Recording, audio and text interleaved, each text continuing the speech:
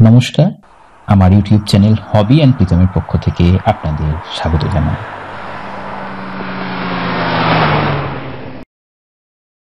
আমরা কলা খাওয়ার পর কলার খোসা ফেলে দিই। কিন্তু আপনি কি জানেন, আমরা খুব সহজেই এই কলার খোসা থেকে সার বানিয়ে নিতে পারি? কলার খোসাতে থাকে প্রধানত পটাশিয়াম। আর এই পটাশিয়াম গাছের কাণ্ড শক্ত করতে, গাছের রোগ প্রতিরোধ ক্ষমতা বাড়াতে, ফুল ফোটাতে ও ফলের গুণগত মান বৃদ্ধিতে সাহায্য করে। এছাড়াও কলার খোসাতে আছে ফসফরাস ও ক্যালসিয়াম।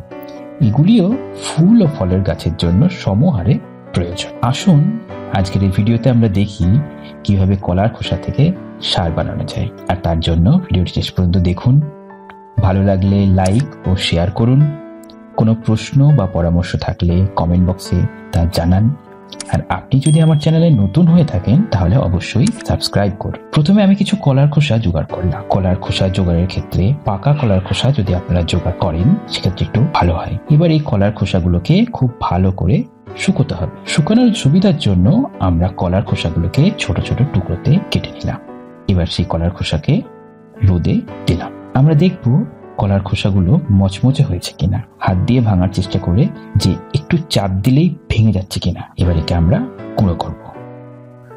গুঁড়ো করার জন্য আপনি মিক্সার গ্রাইন্ডার ব্যবহার করতে পারেন। যদি আপনার বাড়িতে রোদের অভাব থাকে, তাহলে আপনি মাইক্রো ওভেনে দিয়ে শুকিয়ে নিতে পারেন।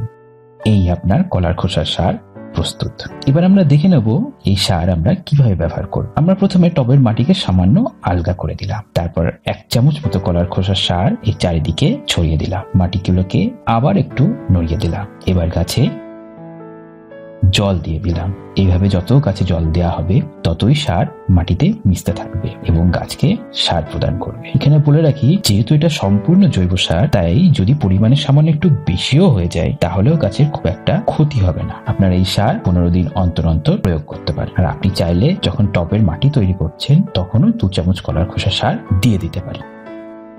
যদি কোনো কারণে মনে হয় এই পদ্ধতিটা আপনার পক্ষে একটু সমস্যার হয়ে যাচ্ছে, তাহলে আপনি কলার খোসার তরল সারও তৈরি করতে পারেন। আসুন এবার দেখে দেখিনি কীভাবে কলার খোসা থেকে তরল সার তৈরি করা যায়। কলার খোসাগুলোকে ছোট ছোট করে কেটে নিলাম। কেটে নেওয়ার পর এই পাত্রে তাদের রাখলাম ও কিছুটা জল ঢেলে দিলাম। একটা কাঠি দিয়ে ভালো করে জলটা নেড়ে দিলাম এবং কাঠির সাহায্যে কলার খোসাগুলোকে একটু পিষে দিলাম।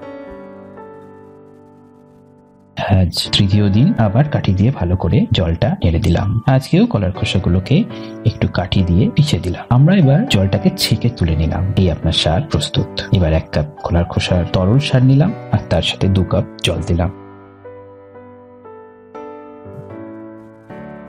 এটা আপনি যে কোনো গাছে দিতে পারেন। বিশেষ করে কোনো ফুল বা ফলের গাছে প্রতি সাত দিন অন্তর অন্তর দিতে পারে এইভাবে আপনারা যদি দু, তিনবার কলার খোসার সার গাছে প্রয়োগ করেন, তাহলে আপনি নিজেই এই সারের সুফল বুঝতে পারবেন। আশা করি ভিডিওটি আপনার ভালো লেগেছে। ভিডিওটি সম্পূর্ণ দেখার জন্য ধন্যবাদ। এই ধরনের আরও ভিডিও পেতে চ্যানেলটি সাবস্ক্রাইব করুন।